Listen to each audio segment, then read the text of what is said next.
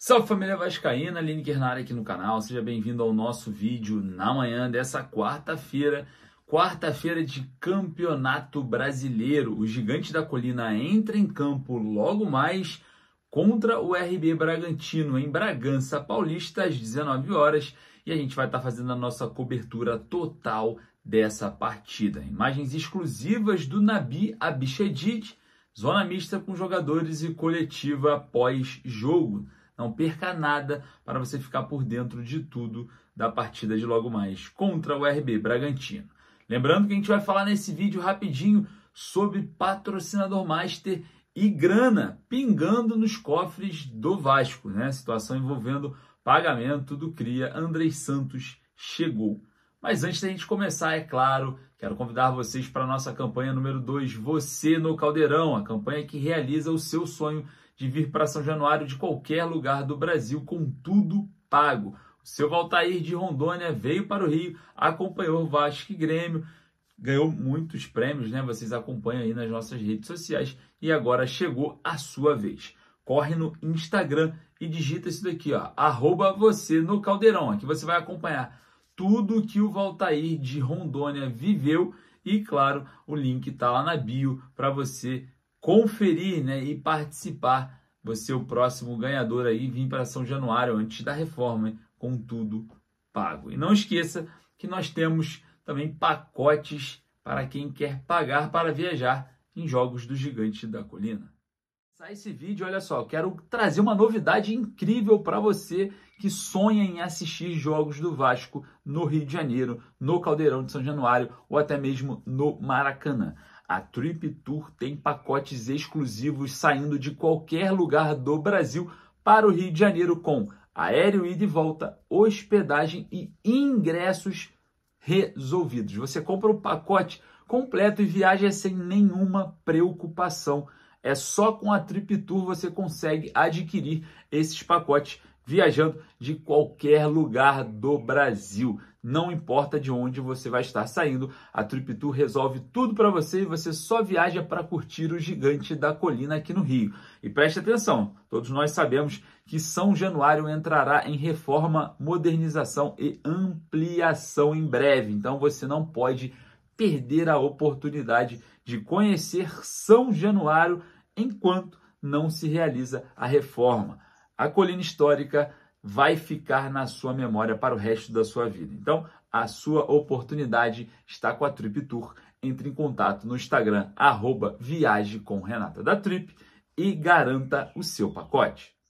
Patrocinador Master Vasco é cerca de 55 milhões vem sendo negociados entre Vasco e Portugabet, né? Uma empresa nova, uma startup nova a gente não tem muitas informações sobre essa empresa no mercado, né? Tá vindo para o Brasil de uma forma um pouco mais incisiva, mais uma bet, né? A gente vale lembrar, né? Mais uma casa de palpites aí que venha possivelmente patrocinar o Vasco. Os valores correm aí por dentro de 55 milhões de reais. Já existe alguns relatos, né, de das redes sociais dessa plataforma que não tem muitos seguidores é, não tem muita informação, já está seguindo alguns jogadores do Vasco aí na, nas redes sociais e, claro, possivelmente sendo a provável é, patrocinadora master do Gigante da Colina, né, que vai estampar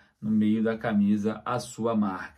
A Portugabet e o Vasco negociam o maior patrocínio da história de todos os tempos do Vasco, 55 milhões anuais, válidos por três anos e, como eu falei anteriormente, a respeito do patrocínio. Cada vez mais que você vai postergando, que você não vai fechando os seus patrocinadores.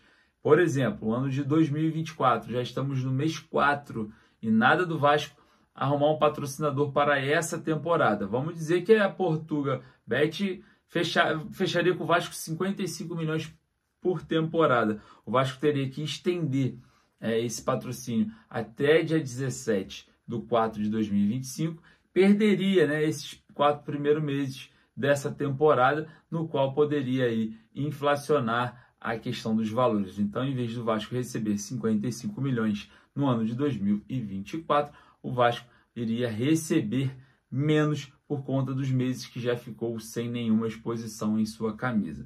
O certo é, demora na questão comercial se aproxima muito da demora em contratações dentro do mercado da bola. E a gente vem sempre criticando essa forma administrativa da 777 Partners dentro da Vasco SAF. É demora, é, é complicações e isso mostra que a lentidão e a incompetência estão muito dentro do futebol, né, gerindo o futebol do clube, né, 70% por questões majoritárias da empresa americana 777 Partners, seus funcionários que trabalham hoje na Vasco SAF. Enfim, conversas avançadas com a Portuga Bet, a gente vai estar tá analisando aqui toda essa informação para trazer para vocês em primeira mão. E falando em dinheiro, olha só, notícia boa, tá? Notícia boa, de acordo com informações de ontem à noite, né? O Vasco recebeu mais uma parcela referente à venda do Andrei Santos para o Chelsea. Né? Os valores giram em torno de 6,5 milhões de euros. O jogador tem 30% desse valor, né? aproximadamente ali um terço, né? 11 milhões de reais, né? aproximado a um terço, que seria 33,3%. Jogador que detém 30, muito próximo aí desse valor. E o Vasco ainda não repassou esse valor ao atleta por enquanto. A situação que eu estou vendo aqui é que o staff do jogador vai pedir para o Vasco fazer esse pagamento o quanto antes. E olha, André Santos gerando ainda renda né, para os cofres dos gigantes da colina. Então, de olho em mais grana chegando no Vasco aí para impulsionar, quem sabe, esse mercado que ainda faltam dois dias, né? E hoje o Vasco visita o RB Bragantino, né? Gigante da colina vai ao Nabi Abichedid enfrentar a boa equipe do RB Bragantino. Então, de olho no jogo hoje às 19 horas, né? O técnico Ramon Dias esboçando aí a equipe titular, né, nos últimos treinamentos. A gente acompanhou algumas informações, algumas imagens, algumas tomadas. E olha, o Vasco deve entrar em campo com Léo Jardim no gol, Paulo Henrique na lateral direita, João Vitor substituindo o Medel, que está fora, um problema familiar no Chile, e o zagueiro Léo forma a zaga com Lucas Piton na lateral esquerda. Três volantes, né? aquele mesmo esquema contra o Grêmio. Esforza, Matheus Carvalho e Pablo Galdames. Lembrando que o Vasco jogou com três atacantes e deve repetir com Rossi na ponta direita, ali um, atacante pela ponta direita, o David pela ponta esquerda e centralizado o nosso argentino é o pirata Pablo Verrete.